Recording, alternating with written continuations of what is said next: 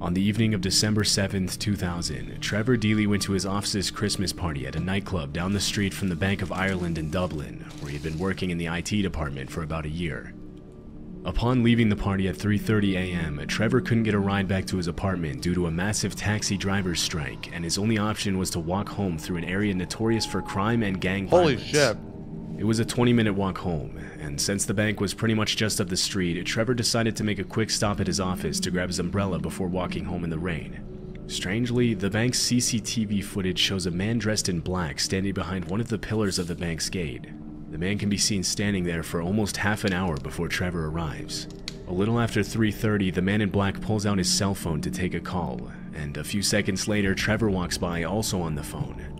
Police later determined that at that exact time, Trevor had made a phone call to a coworker who was still at the bank. The CCTV video shows Trevor arriving at the bank's front gate, and a second man dressed in black steps out of the shadows to talk to him. Trevor ends his call as he opens the gate and talks to the man in black. It doesn't look like they know each other, but Trevor doesn't seem to be scared or concerned. The man simply stands by the gate as Trevor walks in, and a few minutes later, the man in black walks out of the camera's view.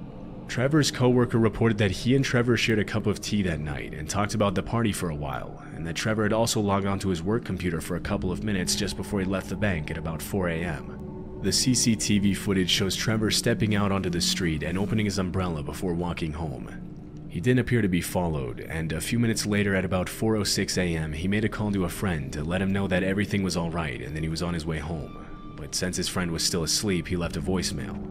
That voicemail would be the last time that anyone heard from Trevor Deely. Holy shit. At 4:14 a.m., Trevor was seen walking by an ATM on a street about 15 minutes away from his apartment. Less than 30 seconds later, a man in black appears on screen, apparently following Trevor. 16 years later in 2016, the CCTV footage was digitally enhanced, and police determined that the man in black from the bank was the same man who later followed him. This was the last footage where Trevor was seen alive. Although he missed work on Friday, his coworkers didn't seem to find it strange, considering that many other employees were still hungover from the party and had also taken the day off. But after his friends and family couldn't get in touch with him over the weekend, and he didn't show up for work on Monday, he was immediately reported missing. Trevor's friends and family led the search from the beginning, and it was actually his friends and not the police who managed to get the disturbing footage from that evening. Unfortunately, they didn't have access to the footage until four days after his disappearance, which meant that the police had lost valuable time in Wait the a search minute, for hold Trevor on, wait a minute, wait a minute. There may have been Trevor's friends and family led the search from the beginning, and it was actually his friends and not the police who managed to get the disturbing footage from that evening. Okay. Unfortunately, they didn't have That's access to the footage until four days after his disappearance, which meant that the police had lost valuable time in the search for Trevor Deely. There may have been more CCTV footage of Trevor from that night, but at the time, CCTV cameras recorded their footage on VHS tapes, which were often recorded over with new footage, erasing the previous footage in the process. That's insane. Over the years, several theories that your friends, that his friends and family got more evidence than the fucking police, bro. about Trevor's disappearance have surfaced, but none of them have been confirmed. Some have speculated that he might have been intoxicated that night, which may have caused him to fall into the water under the bridge and drown. But Irish police searched all nearby bodies of water, and no signs of Trevor were ever found. Most people believe that the mysterious man who was seen following Trevor in the CCTV footage had something to do with his disappearance, but to this day he remains unidentified. In 2017, police received a tip from an anonymous source who claimed to know what had happened to Trevor. According to this source, the man who followed Trevor that night was a gang member who murdered Trevor after he refused to help him gain access to the Bank of Ireland building. The man supposedly buried him in the woods a few miles away from where Trevor was last seen. For several weeks, 20 police officers and a search dog continued to search the site, but after two months of digging, the search was called off. 23 years after the incident, Trevor Deely's chilling disappearance is an open and active case. The events leading up to it, however, are still a mystery. That's crazy. On November 28, 2012, Emma Fillipoff disappeared under very strange circumstances in Victoria, British Columbia. A year before a mysterious Yo, Mahal, disappearance, for Emma had fulfilled her lifelong dream of moving to the Canadian West from Perth, Ontario. Although she arrived in Victoria without a job or place to live, Emma quickly moved in with a friend and found work at a local cafe while she looked for her own place to live. Things seemed to be going well for Emma, but when winter came, she became much more withdrawn and started acting in strange ways. According to her roommate, it wasn't uncommon to see Emma engage in obsessive compulsive rituals and erratic behaviors and to fall victim to what seemed to be manic episodes. Just a few What? months after her arrival in Victoria, Emma abruptly left her friend's apartment, quit her job at the cafe, and began living pretty much anywhere she could find. She stayed at a hotel, camped in the woods, and even slept on boats in Victoria's harbor for a while. By early 2012, Emma was living in a women's shelter in Victoria. That summer, Emma landed a seasonal job at Redfish Bluefish, a popular seafood restaurant in Victoria's Inner Harbor, where she seemed relatively happy for a while. It was also around that time that Emma bought a red Mazda MPV van in hopes of permanently living on the road and traveling to different cities in the US, Mexico, and Canada. When she left her seasonal job in October, she assured her coworkers that she would be back in the spring.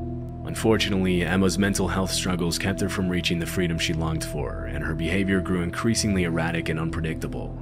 In the months before her disappearance, her friends and some of the staff at the women's shelter mentioned that she had been acting paranoid over an unnamed man she had dated back when she was a culinary school student in Perth. She never mentioned whether they had kept in touch, but this seemed to be one of the causes for her paranoid behavior. A few weeks before her disappearance, Emma had an episode where she dragged the furniture in the women's shelter across the street and later claimed that she heard voices coming from the furniture telling her to do it. What the Around fuck? that time, she also gave away and sold many of her personal belongings.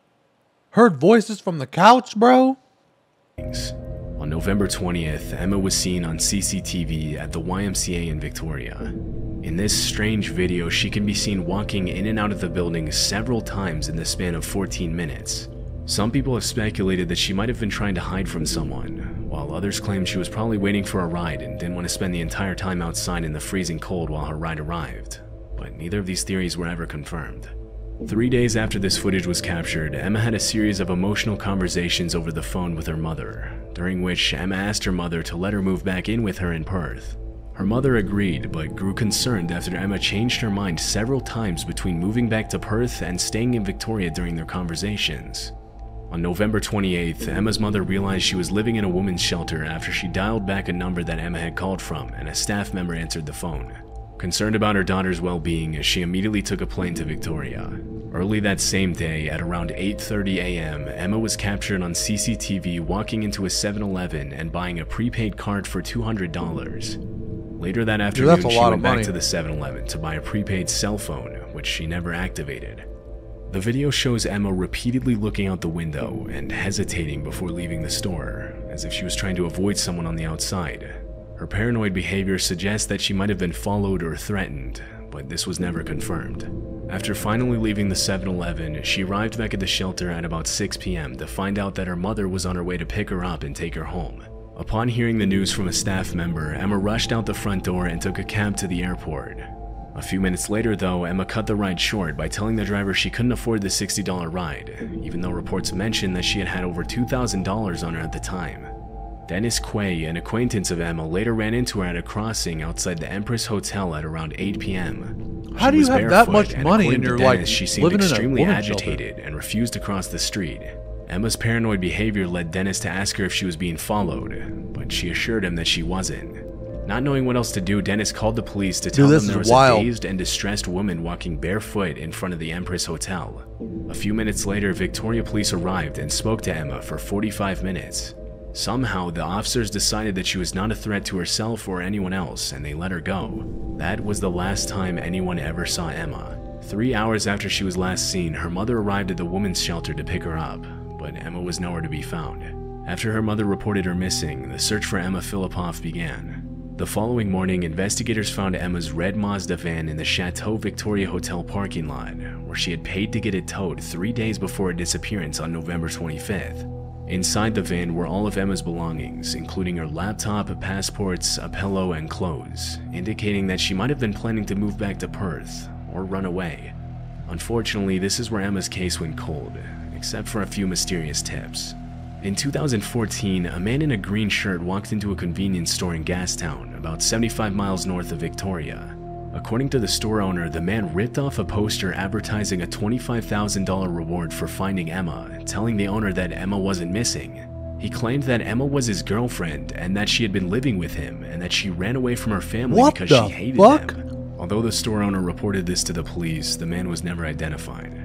Four years later in 2008, How do you not identify, dude? How do you how? How do you not identify him? 18, almost six years after Emma's disappearance, another man confirmed that he had seen her on the morning after her disappearance, claiming that up until then he hadn't made the connection that the woman he had seen was Emma. According to the man, Emma was standing on the side of the road, barefoot and soaking wet, looking nervous and paranoid as she asked the man for a ride. She claimed she was going to visit a friend in Colwood, 10 miles from Victoria. The man told Emma he couldn't take her that far, but he drove her a few miles and dropped her off at a nearby gas station. After that, nobody ever saw Emma again. Strangely, the identity of this friend that Emma mentioned she was going to visit is still a mystery. Although Emma's mother has searched non-stop for her daughter for several years, the cause for Emma's disappearance is still unknown. Some people speculate that she might have fallen victim to the man she mentioned she dated back in Perth, even though the police interrogated him and eventually cleared him. Another possibility is that she was kidnapped by the man in the green shirt in the footage. Due to Emma's mental state in the weeks leading up to her disappearance, other people think that her mental health struggles might have gotten the best of her. 11 years later, and police still don't know whether Emma even left the island in the first place, or if she's still out there somewhere. Dude, that was so fucked up, man. Like at first I thought she was paranoid. Then I started to believe that she had people following her. Then I went back to her being paranoid. Then I went back to maybe the guy in the green shirt fucking killed her. Dude, I could never do that. I could never like bounce back and forth from city to city to city living in my car, dude. I could never do that. When you don't have like a good bed or like a home, it's fucking miserable, man. It is awful. Yeah, yeah, yeah. Who's he? T- Shut the fuck up. The haunting disappearance of the Jamison family in 2009 gained public attention and media coverage after some disturbing footage of the family was found by police. In She had on 2009, drugs Bobby and. Sherilyn Jamison lived with their six-year-old daughter Madison in Eufaula, Oklahoma. Although they lived what appeared to be normal lives, the Jamisons' marriage was a rocky one, and police have long tried to figure out if their difficult circumstances were somehow tied to their disappearance. Around the time of their disappearance, the couple had been dealing with financial issues. Since 2003, the Jamisons had been on disability after Bobby was involved in a serious car accident that left him with severe chronic back pain. His wife Sherilyn had her own health issues. She had been diagnosed with bipolar disorder, but sometimes refused to take her medication. In 2009, the family decided to drive up to check out a 40 acre plot of land in Red Oaks, Oklahoma, about 30 miles away from their home in Eufaula. They specifically asked to inspect the plot of land without a real estate agent present. The Jamisons had That's told their weird. friends and family that they were planning on moving there to start a new life after pulling their six Why would you want to go to a place without the agent there? He did the pause thing. One less witness. Six year old daughter Madison out of kindergarten over some kind of disagreement with their daughter's school. During the week they drove up to Red Oaks, nobody heard from the family. Because they were an unusually private family that often went off the grid without contacting anybody for weeks at a time, nobody assumed that the Jamisons had disappeared. But after a pair of hunters discovered the family's truck abandoned on a dirt road at the edge of the woods nine days after they were last seen, it was clear that something was wrong. Inside the truck, police found a GPS, cell phones, empty pill bottles, wallets, and $32,000 in cash, What which was extremely fuck? strange considering the Jamisons had been struggling financially. Disturbingly, the Jamisons' dog was found alive in the truck, dehydrated and starving after spending days in the locked vehicle. Oh no. Police also reported that they found a chilling 11 page angry letter from Sherilyn to Bobby, in which she accused him of hating his daughter and being a loner and a hermit.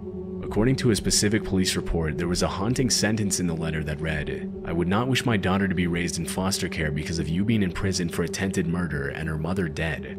At this point, it was impossible for anyone to know what had happened to the Jamisons. Holy shit. But immediately after it was determined that the family was missing, police started a search around the area where the truck was found. For nine months, a search team consisting of 400 volunteers, 16 search dogs, unmanned drones, planes, horses, and a specialized search unit scoured the woods in search of the missing family.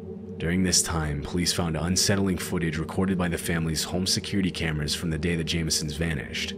In the video, Bobby and Sherilyn can be seen loading their truck in preparation for the trip, but something immediately seems off about the footage. The couple make over 20 trips to load the truck, sometimes putting things in the truck and then taking those same things back to the house, then back to the truck again. A few times, the husband and wife even walk from the truck to the house and back again without carrying anything in their hands. Strangely, the couple change clothes several times throughout the video, and it's hard to tell exactly with the low frame rate of the footage, but they seem to not interact with each other a single time. The psychologist that was called in to review the footage immediately attributed the couple's bizarre trance like movements and strange behavior to illegal drug use. Bobby had a history of drug use, but it was never confirmed whether the couple was under the influence of drugs during the video. After looking deeper into the Jamisons' lives, police were only left with more questions. A pastor close to the family mentioned that shortly before their disappearance, Bobby had told him that there were spirits living on the roof of his house, and he had even requested that an exorcism be performed at his home multiple times. Bobby Jamison A also owned a copy ghost? of the Satanic Bible, which he had been reading before his disappearance to try and find a way to make the spirits leave his house.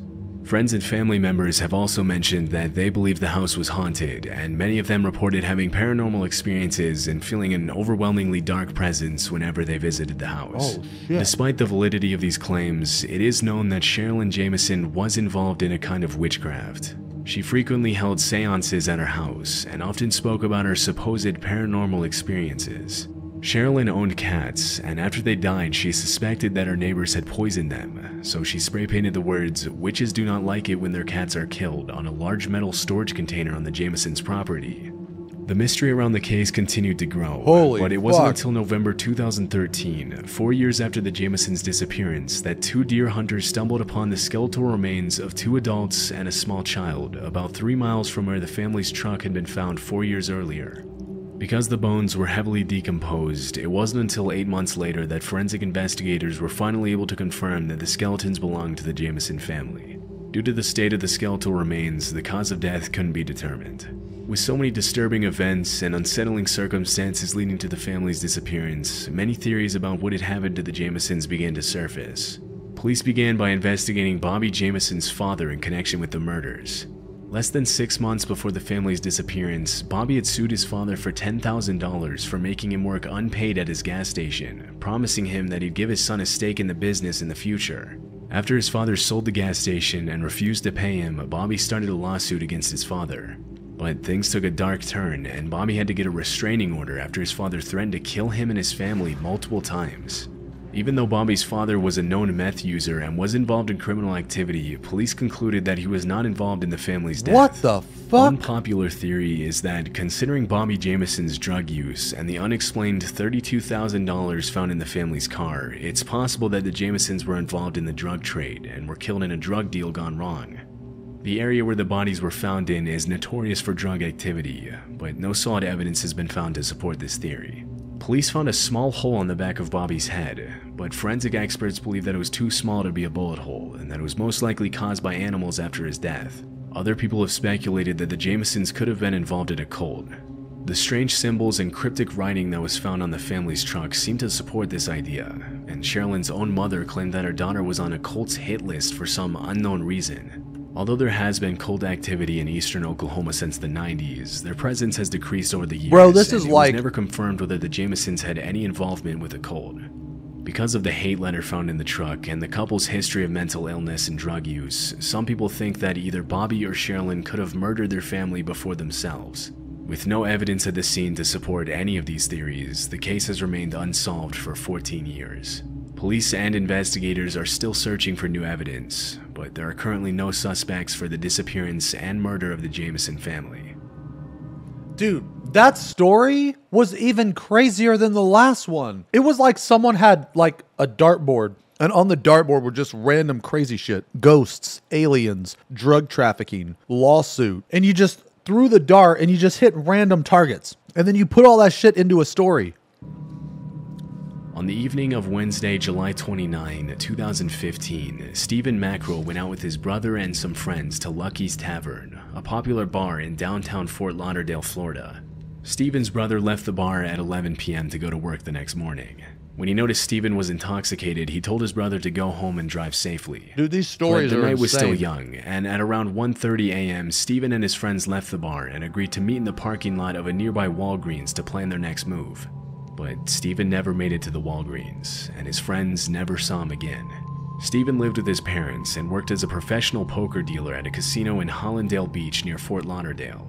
He didn't come home the next day and didn't show up for work the day after that. His family knew something was wrong. Police reported that there were several surveillance systems in the area where Stephen was last seen, but they said it might take weeks before they could gather the Hey, relevant Curie, footage. thank you for the resub. In the meantime, investigators interviewed the friends and family Thank you very members who had last seen Steven. Thinking that he might have gotten into an accident due to his intoxicated state, police conducted searches in many different lakes and ponds, but nothing important was found. The search became even more complicated when investigators learned that Steven's phone battery had died at the bar.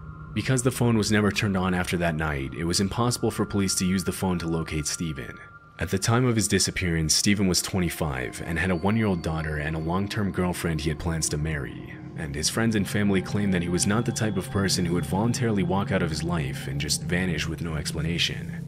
Unfortunately, some of the footage that was found during the investigation suggests that Steven's disappearance was not at all his choice. Two weeks after he was last seen, police discovered that Steven had used his credit card at a gas station in Pompano Beach about an hour after he had left the bar.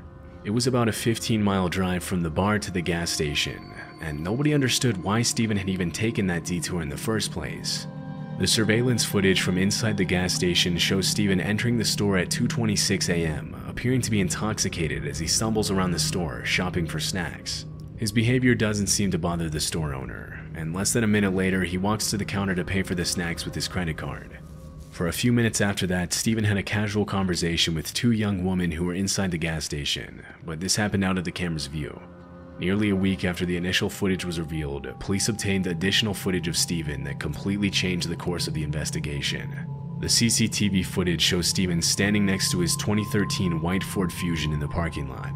He seems to get into some sort of altercation with the driver of an unidentified silver sedan, and as the silver car pulls away, Steven takes a step back and throws what appears to be his drink at the driver.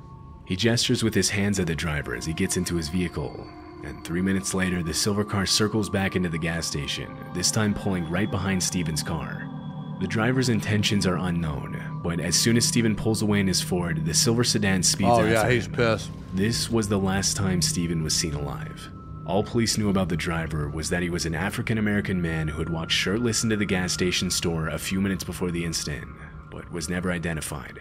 For eight years, Fort Lauderdale Shirtless.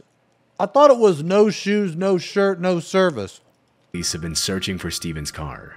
His license plate was never scanned by any license plate readers, indicating that he never left the Fort Lauderdale area. Search teams have combed through over 20 bodies of water looking for the car, but nothing has ever been found. Disturbingly, during the searches, almost 20 other vehicles have turned up in nearby lakes, ponds, and canals, including stolen vehicles with bullet holes. Holy but nothing fuck. relating to Steven's disappearance. Not even a clue.